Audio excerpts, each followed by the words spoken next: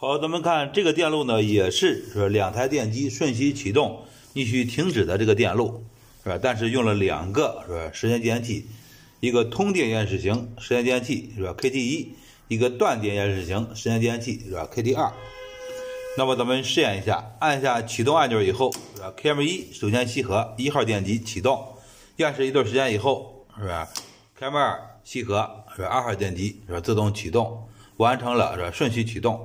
按下停止按钮，KM 二马上释放是吧？二号电机马上停止，一段时间以后是吧？KM 一释放是吧？一号电机停止是吧？完成了是吧？逆序停止。那咱们看这个电路是吧？这个电路和咱们前边视频当中是吧？这个是吧？只用一个时间计算器实现是吧？顺序启动、逆序停止的电路是？不太一样，是吧？咱们把这个电路呢是讲一下。那这个主活路呢是吧？还是是吧？KM 一驱动一号电机 M 一，KM 二是吧？驱动二号电机是吧？这个 M 二，咱们主要就来看这个控制活路是吧？按下启动按钮以后呢，是吧？中间继电器 KA 是吧？得电吸合，然后自锁。那这个时候是吧？KT 一和 KT 二线圈都得电是吧？那么一个是通电延时型时间继电器，一个是断电延时型时间继电器是吧？那么通电延时型时间计算器，它的线圈通电以后呢，是吧？这个触点会延时动作，是吧？断电延时型时间计算器是它的线圈通电以后，是吧？它的触点会马上动作。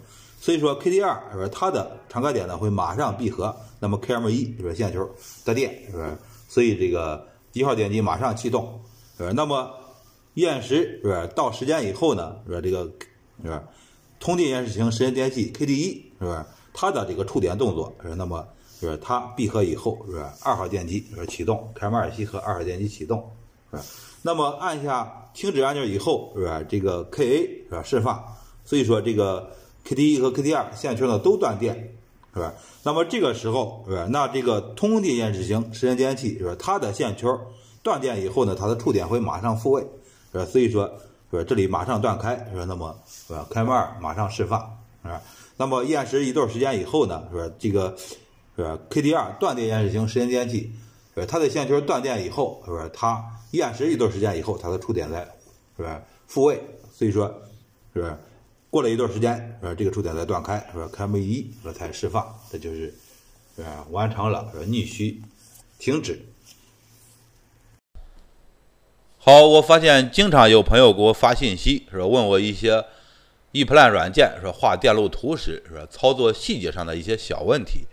那这些小问题呢，是？虽然很简单，是吧？但是呢，如果你找不到是？正确的这个方法的时候，是吧？还是比较头疼，是吧？确实不知道是？怎么操作。那比如说，昨天有一个朋友问我说，在这个电路图当中，是吧？比如说有这个汉字，是吧？这个字体。是吧？啊，比如说这里呢有一个自动，是吧？有一个手动。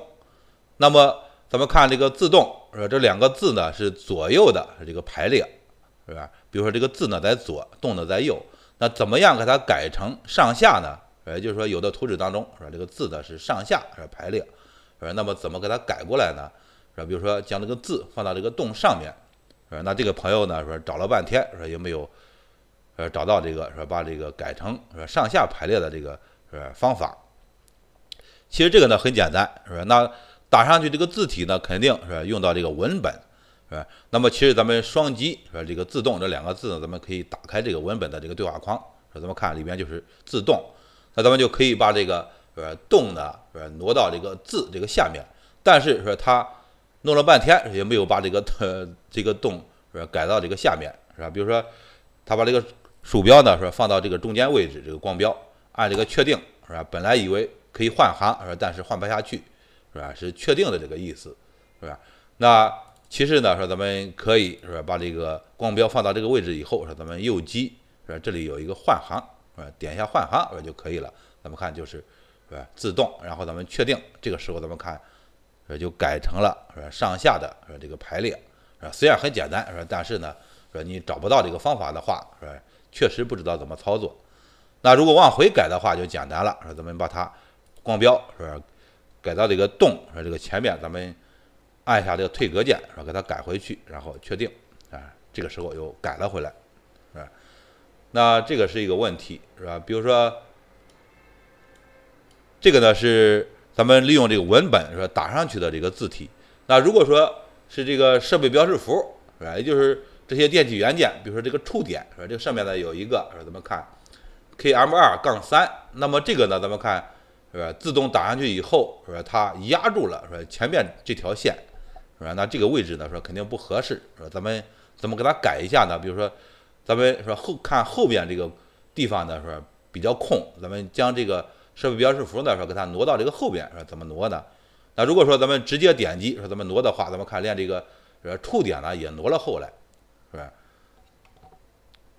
那这个咱们让这个触点是吧还保留在这个位置，怎么是吧把这个设备标志符是吧直接挪到这个后面呢？是吧？咱们可以是吧右击是吧这个设备标志符，然后这里有一个文本，是吧？咱们选择移动是吧属性文本，然后这个时候咱们再来挪，是吧？咱们看。只将说这个设备标志符是吧挪后来，说咱们看这样看上去说就美观多了，是吧？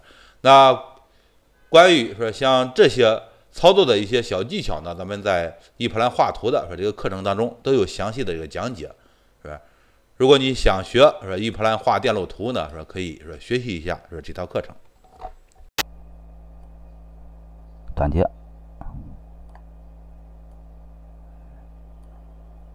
然后调零。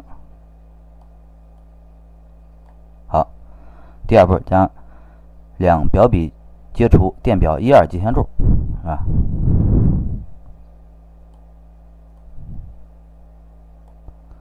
接一二接线柱以后，咱们看是吧？的指针呢，是吧？几乎接近于零，是吧？电阻较小，接近于零的时候，则一三是进线，是吧？电能表为跳入式接线，是吧？就是说，这个呢接近于零，它呢是跳入式，一三进线，二四是出线是吧。咱们就可以按照下面这个电路图是吧？跳入式是吧？咱们看一三是吧？进线、相线、零线是吧？二四出到负载是吧？下面呢，咱们给它演练接线是吧？连布局电表开关啊，控制开关。灯，好，现在给它布局完毕。下面呢，咱们给它连线，是吧？点一下这连线，连线以后，是吧？照这个接线图，是吧？连线就可以了。首先呢，我们连这根零线，是吧？咱们看它零线的闪烁，是吧？连零线到，是吧？三，好，一，是吧？象线到一。这是进线，是吧？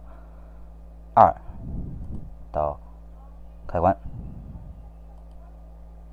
四是吧？输出到开关。下面呢，到这根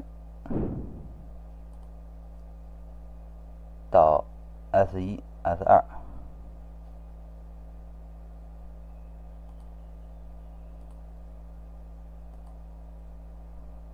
好 S 二是吧？到 L 二，S 一到 L 一，现在是它的零线，好，现在零线呢调节起来，好，就布线是吧？就完成。下面呢，咱们仿真运行是吧？点一下仿真以后是吧？首先呢，将开关合上，哎，好，按控制开关，是吧？好，灯亮，是吧？咱们看这个盘呢开始转动，咱们再打开，是吧？呃，S 二，是吧？第二个灯亮，是吧？咱们看这明显的转动呢，是吧？速度加快，啊，好，停电。这个呢就是这个单向调表，是吧？它的。接线方法。